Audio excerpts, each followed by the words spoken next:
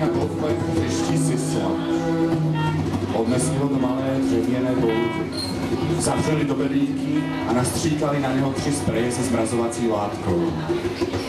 Když sisel ještě stále žil, přemýšleli, jak jinak ho zprovodit ze světa, k čemu si zapálili cigarety.